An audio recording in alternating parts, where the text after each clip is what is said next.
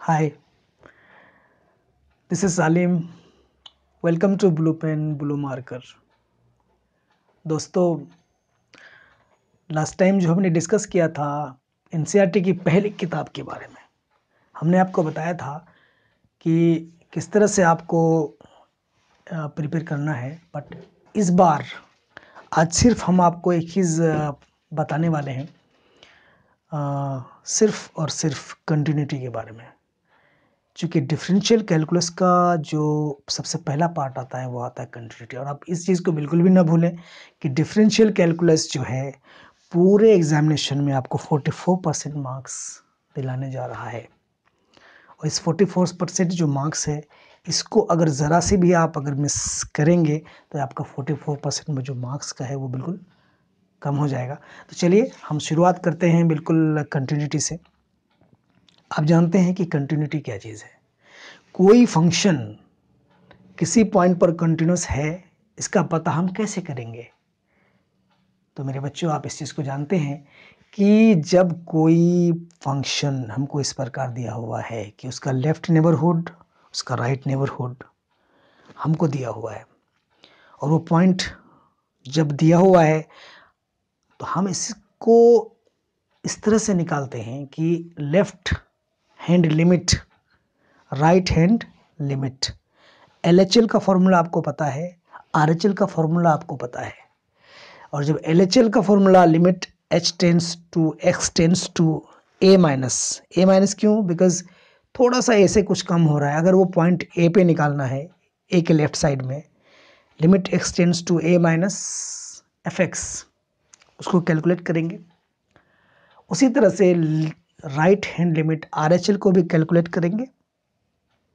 और अगर यदि दोनों का वैल्यू सेम आता है, तब हम उस फ़ंक्शन का वैल्यू उस पॉइंट पर कैलकुलेट करने के लिए आगे बढ़ेंगे।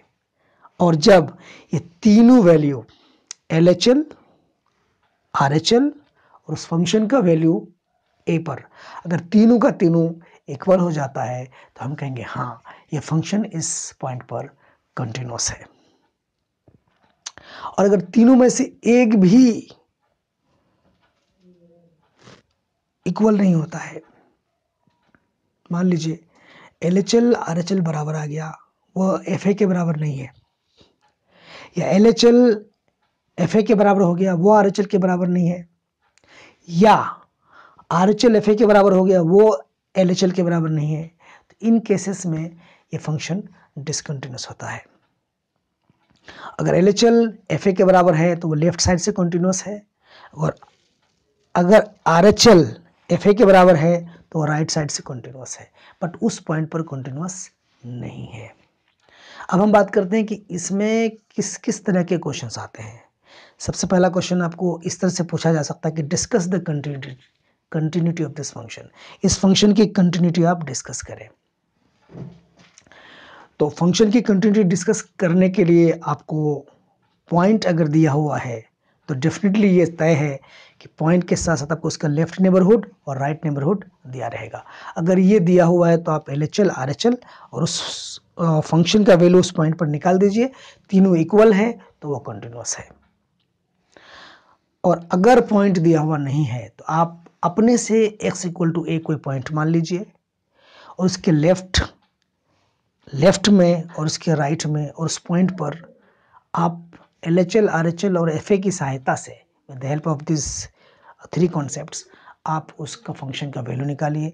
तीनों इक्वल है तो कॉन्टिन्यूस है। इक्वल नहीं है तो कॉन्टिन्यूस नहीं है। दूसरी बात बात करते हम कि आपको सिर्फ़ जो हमने एक और डेफिनेशन बताया था, इसका कंटिन्यूटी का, कि कोई पॉइंट है limit x tends to a f x और उस लिमिट का वैल्यू एफ़ ए के बराबर है तो हम कहते हैं हाँ ये फ़ंक्शन इस पॉइंट ए पर भी कॉन्टिन्यूस है। तो सिंपल सा है। और और इस तरह के क्वेश्चंस जैसे डिस्कस द कंटिन्यूटी और कंटिन्यूटी को चेक करें, और यदि this function is continuous then find the value of lambda के और पी जो भी दिया रहेगा तो हम उस तरह से भी निकाल सकते हैं। तो इस चीज़ को बिल्कुल भी आपको परेशान नहीं होना है। अगर कोई और ज़्यादा दिक्कत है तो आप पूछ सकते हैं। कुछ टिपिकल क्वेश्चंस हैं, उसको आप कर लें। या कोई दिक्कत हो तो आप हमें पूछें कमेंट करें कमेंट बॉक्स में। और अगर अभी चूँकि अभी अभी हम लोगों का रिविज़न क्लासेस हो रहा है, अभी हमने रिवीजन ख़त्म नहीं किया तो आप प्लीज़ इसको, बेटा, अगर कोई दिक्कत है मेरे प्यारे बच्चों, आप हमें क्लास में पूछो। इसको क्लियर करो, चूँकि यहाँ से एक क्वेश्चन तो बनता है। टू मार्कर ही सही ऑब्जेक्टिव में सही चूँकि रैंकिंग के लिए टू मार्क्स भी बहुत ज़्यादा होते हैं। हमें इस चीज़ को नेगलेक्ट करना नहीं है और हमें यकीन है, हमें उम्मीद है आई एक्सपेक्ट हम एक्सपेक्ट एक्सपेक्ट करते हैं कि आप अच्छे नंबर लाएँगे और उस दिशा में आप अपना कदम आप बढ़ा चुके हैं। और इसी के साथ आप, अपना ध्यान रखें और सबसे बड़ी बात है कि आप स्टडीज़ अपने स्टडीज़ को जारी रखें। और सेहत का ख्याल रखते हुए अपना काम करें।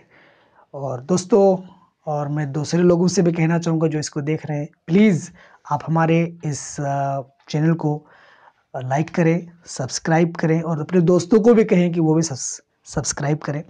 और यकीनन हम अगले आगे, आने वाले दिनों में, चूँकि अभी हमारे पास कुछ सोर्सेज रिसोर्सेज कुछ कम हैं तो हम कुछ कर नहीं पा रहे हैं। यकीनन हम आने वाले दिनों में बहुत अच्छा करेंगे और बच्चों के लिए ये काफ़ी बेनिफिशियल होने वाला है।